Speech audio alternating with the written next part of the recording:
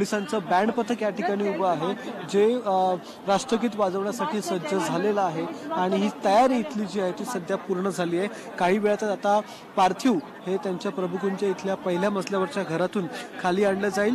इथे खालीच एक टेबल देखील ठेवण्यात आलेला आहे. त्या टेबलावर ते पार्थिव काही वेळासाठी अगदी काही वेळासाठी ठेवण्यात येईल. कारण की जोपर्यंत सलामी या ठिकाणी दिली जाते तोपर्यंत पार्थिव उचलले जाणार नाही.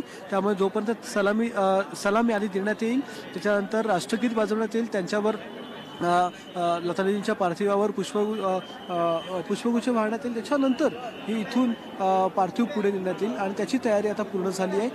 पोलीस इथे पूर्ण त्या फॉर्मेशनमध्ये आलेले आहेत बँड पथक फॉर्मेशनमध्ये आहे आणि इथून सलामी दिल्याच्या नंतरच त्यांना आर्मीच्या गाडीमध्ये ठेवून त्यांची त्यांची अंतिम यात्रा जी आहे ती या प्रभुकुंजवरून सुरू होईल. ती थेट शिवाजी पार्कपर्यंत अंतिम यात्रा असेल. अक्षय तुम्ही राहत सोबत ही दोन दृश्य आपण पाहतोय. प्रभुकुंज निवासस्थानाबाहेरची आणि शिवाजी पार्क इथली. प्रभुकुंज निवासस्थानाबाहेर लता दिदींना सलामी देण्यासाठी मानवंदना देण्यासाठीची सज्जता पूर्ण झाली आहे.